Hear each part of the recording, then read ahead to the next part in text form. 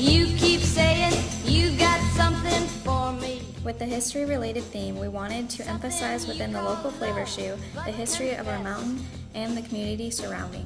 You've been a messin' where you shouldn't have been a messin'.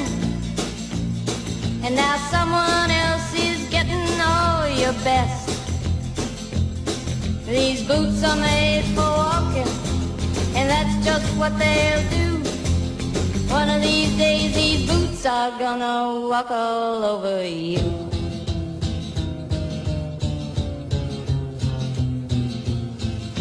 Yeah. When looking into the history of skateboarding, we discovered the boards were first being used as a way to surf on land. So we then incorporated a surfer and their slang they threw back and forth. You ought to not bet. You keep saying when you ought to be a changing. Now what's right is right, but you ain't been right yet. These boots are made for walking, and that's just what they'll do. One of these days. During the 1960s, go-go dancing was the way to go. So we used a go-go dancer, and within the flow of her hair, we let the music speak for itself. You keep playing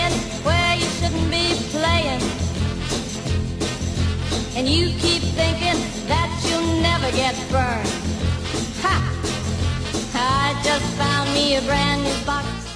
We came together to produce the art shoe as a piece of symbolism to the era of 1966. During this time, Vietnam was of great discussion, and art was being used to spread peace across the nation. One shoe represents the war going on at this time, while the other shoe represents that art is a cure to war's poisons.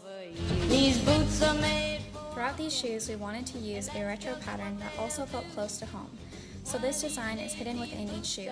We also tied the shoes together with illuminating soles. We put together the soles by printing on a pattern we put together on plexiglass, and then used the router and sandpaper to give the finishing curves. Start walking.